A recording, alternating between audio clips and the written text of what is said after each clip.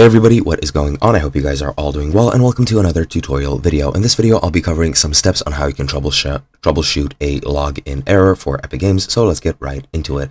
Now, there are a couple of errors which I'll be going over here uh, in this article on their support page, so I do recommend you check it out as well for yourself, but I'll be going over them really quickly to explain the process behind every one. Now, if you get this one, which is sorry, your Epic Games account is already associated with another account, uh, this means that you're attempting to link a console account to a Epic account that already has another console account linked to it. So what you can do in this case is you can try logging in via, via the sign in with Epic Games option instead of the console option, or you can open up this link, uh, which is in an incognito window, which is basically just the login link for Epic Games.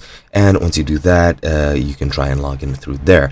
Now, if you get this error, if this console account has already been associated, this means you're trying to link uh, a console account with an Epic Games account. However, your console account is already linked to another Epic Games account. And to do this, uh, you uh, need to just figure out which account your console is linked to. And you can do that by going to this link in incognito mode, which is account slash connections. However, it's asking me to sign up, uh, which I won't be doing. But you go to this link, then select the icon of your console type and log in using your console information. And you should figure out which account that is.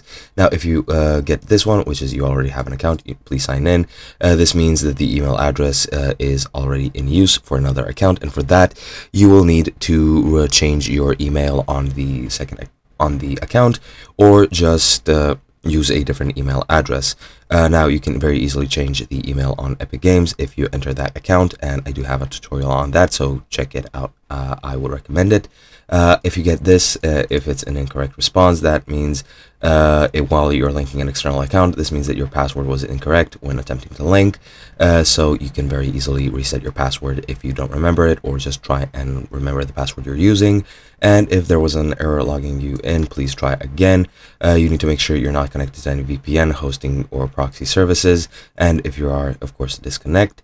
Uh, then you need to go to your platform website and sign in for either PlayStation sign in, Xbox sign, Xbox sign in, Nintendo Switch sign in, etc. And then you go back to the Epic website and try to sign in again. And if the issue persists, you need to try logging in using your Epic Games account credentials, and that should be it. Uh, now, this is pretty much all of the errors that I have come across online. If you have any others, please write in the comments below and we'll try to cover them as well. But that is pretty much it. Hope you guys enjoyed and I'll be seeing you guys in another video.